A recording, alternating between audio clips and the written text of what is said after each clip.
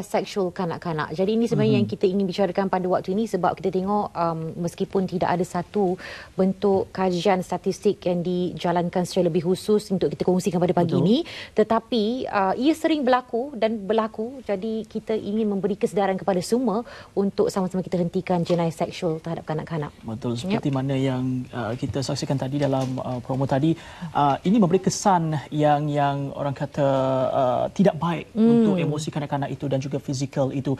Jenayah seksual kanak-kanak uh, pada bulan ini sebenarnya akan diadakan uh, 13 hingga 14 Mac nanti di PWTC dan ini juga perkara yang kita perlu ambil tahu sebagai rakyat Malaysia dalam uh, pada masa sama juga mm-hmm. untuk mengekang perkara ini terus berlaku uh, kanak-kanak yang ada di Malaysia ini. Baik, yep. uh, kalau dari segi uh, pelaksanaan undang-undang memang ada Akta Kanak-kanak uh, Pindaan 2015 telah mm-hmm. pun di, dilaksanakan dengan mm-hmm. mewujudkan Mahkamah Khas Kanak-kanak mm-hmm. dan sebagainya. Tapi hari ini kita nak tahu bagaimana pelaksanaan itu dilakukan ataupun uh, pencegahan itu langkah-langkah ataupun tindakan yang dilakukan oleh pihak uh, Polis Diraja Malaysia sendiri ataupun yep. PDRM mm-hmm. uh, menangani kes ataupun seksual kanak-kanak ini.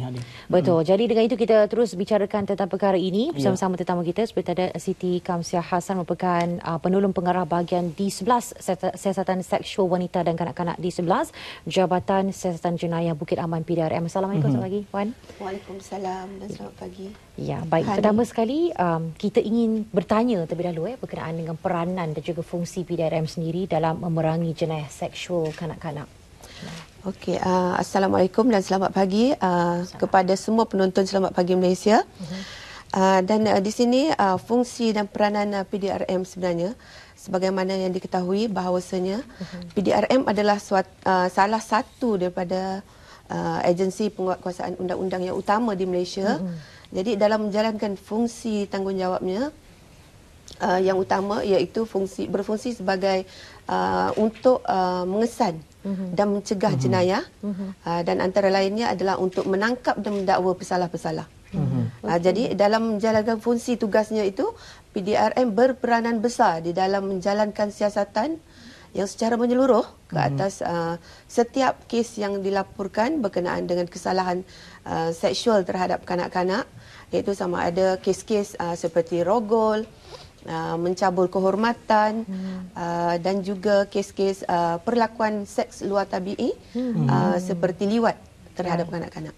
Hmm. Jadi uh, tujuan siasatan ini dijalankan adalah untuk uh, supaya uh, mangsa itu dapat uh, mendapat keadilan yang sewajarnya dan begitu juga supaya uh, pelaku jenayah tersebut hmm. dapat diambil tindakan di bawah peruntukan undang-undang yang ada. Hmm. Jadi siasatan ini sebenarnya adalah uh, dia penting untuk mengumpul keterangan hmm. uh, bagi mengambil tindakan tersebut ke atas hmm. suspek yang terlibat. Okey, okay, kalau kanak-kanak ini menjadi mangsa uh, penderaan seksual dan kelakuan seksual yang yang uh, dilakukan terhadap mereka, kanak-kanak uh, tidak tahu bagaimana untuk uh, meluahkan dan juga uh, ialah membuat aduan sebagainya. Tapi hmm. uh, sebagai kita orang dewasa, kita boleh mengenali mereka ataupun suspek ini kerana mereka juga ada bonus operandi tertentu uh, untuk melakukan uh, jenayah tersebut. Mungkin antara perkara yang perlu di, kita ketahui apa dia? Okey, uh, baik. Dia macam ni, uh, pelaku jenayah itu sebenarnya uh-huh. ada yang dikenali okay. dan ada juga suspek yang tidak dikenali. Uh-huh. Uh, seperti yang dikenali adalah keluarga, ibu bapa kan, bapa terutamanya uh-huh. bapa kandung, bapa tiri, datuk dan juga kenalan uh-huh. uh, uh, jiran tetangga. Jadi cara ataupun modus operandi yang digunakan adalah berbeza. Uh-huh. Jadi antara mereka yang dikenali dengan tidak dikenali. Jadi kalau yang dikenali biasanya mereka mem, uh, membina kepercayaan uh, mangsa itu terlebih dahulu. Maknanya dengan uh, memujuk, memberi hadiah, Uh, contohnya orang yang dikenali kan seperti uh, guru dan mereka menggunakan mm-hmm. status mereka uh, untuk uh, mendekati mangsa tersebut. Hmm. Uh, dan selain itu, uh, kalau macam suspek yang tidak dikenali, hmm. uh, seperti stranger lah, orang hmm. asing, uh, mungkin mereka menggunakan tipe helah. Hmm. Uh, macam uh, memaksa mereka ataupun memujuk untuk menunjukkan uh, macam tempat uh, alamat mm-hmm. uh, dan jadi dengan itu mereka memperdayakan mangsa dan membawa mangsa kepada uh, satu tempat yang mana perlakuan jenayah seksual boleh dilakukan. Kalau uh, menurut uh, kes-kes yang sebelumnya lagi ma- ma- kategori mana yang yang uh, lagi uh, tinggi? Suspek ya. yang dikenali ataupun tidak dikenali hmm. oleh kanak-kanak? Okey, uh, terhadap jenayah seksual ini suspek yang dikenali lebih tinggi. Dikenali Yang- Ah, keluarga okey. guru. Keluarga guru dia yang merujuk kepada Ah, okey. lebih kurang 89% daripada jumlah uh, jenayah yang berlaku lah terhadap anak-anak. Mm-mm. Sebab kita tengok tadi ya, ada keratan akhbar pelbagai juga dan antaranya uh, banyak juga baru-baru kita lihat melibatkan teman lelaki kepada ibu, uh, pasangan kepada um, suap apa uh, bapanya. Jadi ini satu perkara yang macam bayangkan eh orang yang kita kenali sanggup berbuat demikian terutama sekali bagi kanak-kanak yang tak mengerti apa-apa. Betul. Um, jadi kita nak tahu juga dari segi aspek prosedur uh, yang dijalankan oleh uh, polis dalam uh, mengendalikan kes jenis seksual. Apakah prosedur yang dijalankan?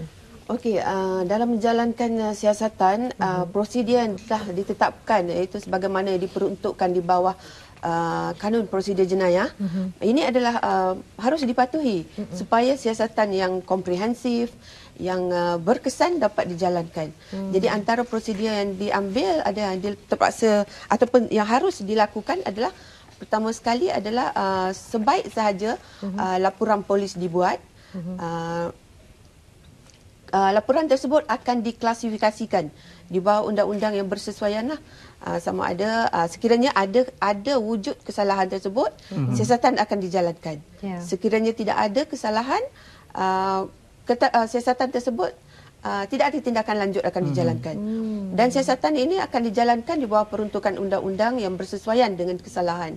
Uh, seperti di bawah kanun uh, keseksaan iaitu bagi kesalahan rogol 375 kanun keseksaan uh, di bawah uh, kesalahan liwat uh, dan sebagainya. Uh, dan seterusnya setelah uh, kertas siasatan ataupun uh, laporan polis tersebut diklasifikasikan uh, mangsa akan ditemu bual Okey. uh, bagi mendapatkan te- ke- keterangan yang lebih lanjut berkenaan dengan uh, bila kejadian berlaku, di mana, uh, siapa yang melakukan Mhm. uh, dan juga uh, apa yang berlaku kepada mereka. Jadi keterangan ini diambil sama ada uh, secara bertulis ataupun melalui rakaman video. Hmm. Okey, macam bila menghadap anak-anak tu kan sebab kanak-kanak ni dia sangat telus dan juga jujur. Jadi untuk tackle dapatkan informasi yang tepat itu macam mana eh? Saya nak dapat nak bayangkan se- sewaktu siasatan itu berlaku berdepan dengan anak-anak ni macam mana. Memang sebab apa kanak-kanak ini dia merujuk kepada mereka yang berumur bawah 18 tahun. Jadi ada yang umurnya terlalu muda. Ya. Jadi agak sukar. Itu sebab uh, ada pendekatan yang digunakan oleh pihak polis mm-hmm. iaitu menggunakan rakaman video. Mhm. Uh, sebagaimana diperuntukkan di bawah akta keterangan. Jadi di mana rakaman video tersebut mm-hmm. boleh dikemukakan di mahkamah sebagai keterangan. Mm. Uh, sebab mereka ini akan mengalami trauma eh. Okey, baik dan uh, difahamkan eh prosedur ni juga bergantung kepada situasi kes. Uh, Hmm. Ada yang kata kalau kes itu kalau di lagi-lagi serius makanya itu akan dijadikan sebagai satu priority. Begitu.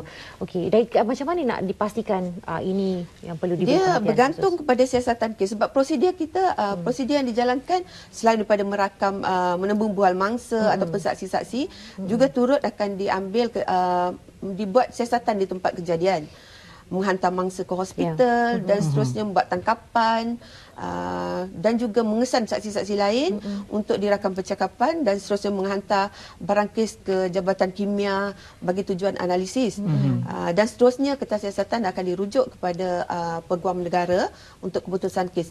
Jadi dalam masa um, apa ni untuk uh, apa yang dimaksudkan tadi adalah berkenaan Priority, dengan ya. parity. Okey, Ya, untuk priority ni adalah kita tengok pada situasi kes. Mm-hmm. Di mana kadang-kadang kejadian itu uh, mangsa ini terlalu trauma. Mm-hmm. Jadi adalah tidak uh, relevan lah untuk mm-hmm. pihak polis untuk macam uh, terus merakam percakapan. Ya. Jadi di sini pendekatan yang digunakan adalah merujuk dulu uh, mangsa ini ke mm-hmm. hospital. Mm-hmm. Ya, Uh, tak- supaya mereka dapat di uh, uh, keadaan mereka ini dapat ditenangkan Ya. dan juga uh, barulah uh, keterangan dapat diambil. Kena cari yang betul lah sebab tak boleh nak desak Tak ya. boleh nak desak. Jadi hmm. dia siasatan ni dia amat uh, sensitif dan perlu pendekatan yang berhemah. Betul. Jadi kita kena pandai untuk uh, mengambil tindakan yang mana yang mana dulu. Uh-huh. Walaupun ada peruntukan yang disediakan tetapi itu adalah orang kata budi bicara. Kalau dalam keadaan yang mangsa yang cedera parah uh-huh. jadi mestilah dihantar ke hospital terlebih dahulu supaya mendapat rawatan uh, dan sebagainya. Baik Puan, uh, tadi Puan ada menyebut uh, mangsa yang mengalami trauma. Uh, mungkin uh, semasa siasatan dijalankan ataupun uh, temu bual itu dilakukan siasatan itu uh, mereka berdiam sebab mm-hmm. tidak tahu uh, ialah meng- uh, trauma jadi bagaimana untuk mendapatkan maklumat lebih lanjut? Adakah ibu bapa ada bersama dengan mereka dengan mm-hmm. penjaga sekali semasa mm-hmm. siasatan? Okey, semasa siasatan ni uh, mangsa ni uh, mangsa penderaan uh, seksual kanak-kanak memang akan mengalami uh, satu keadaan trauma. Mm-hmm. Jadi uh, di pihak PDRM sendiri ada kaunselor uh, yang bertauliah. Mm-hmm. Jadi kaunselor uh, ini uh, akan di uh, membantu untuk memberi khidmat sokongan kepada dalam uh, membantu khidmat sokongan psikologi mangsa mm-hmm. supaya mereka lebih tenang supaya mereka boleh uh, kembali kepada keadaan asal uh, supaya boleh membantu melancarkan siasatan dijalankan. Mm-hmm. Saya fikir ini antara cabaran yang yeah. perlu dilalui eh, mm-hmm. dalam uh, menangani kes jenayah seksual kanak-kanak berdepan dengan anak-anak yang trauma. Dia akan mengambil masa lebih lama Betul. kalau anak-anak itu masih lagi berdiam diri, tak boleh nak berkata-kata. Uh, apa antara cabaran-cabaran lain lagi yang okay, dihadapi? Antara cabaran yang dihadapi oleh PDRM uh, yang biasanya adalah sebab ini adalah menguruskan kes yang melibatkan kanak-kanak. Mm-hmm. Jadi kanak-kanak ini ada yang usianya terlalu muda. Yeah. Jadi dengan umur yang satu tahun, dua tahun. Jadi mereka uh, sukar untuk mengambil uh, keterangan daripada mereka. Mm-hmm.